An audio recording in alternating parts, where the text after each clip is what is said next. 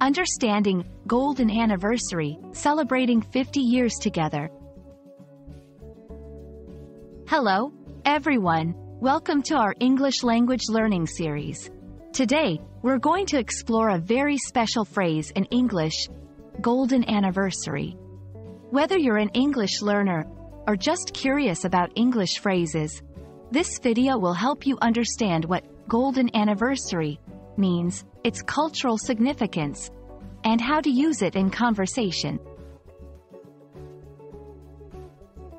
Golden Anniversary is a term used to celebrate a 50th anniversary, most commonly a wedding anniversary.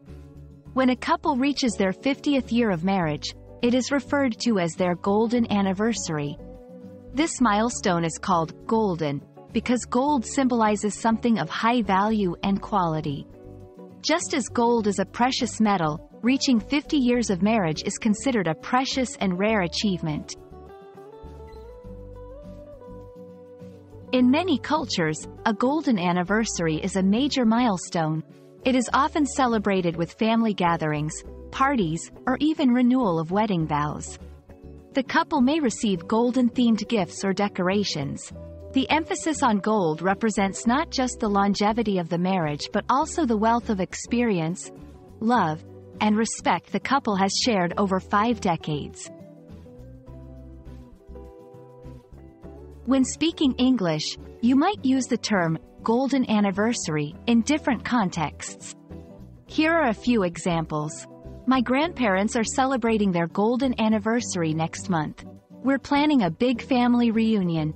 Can you believe it? They have reached their 50th, or golden, anniversary. Finding a gift for a golden anniversary can be challenging because it's such a significant event. These examples show how the phrase can be integrated into everyday conversation, highlighting its significance in marking a major life milestone.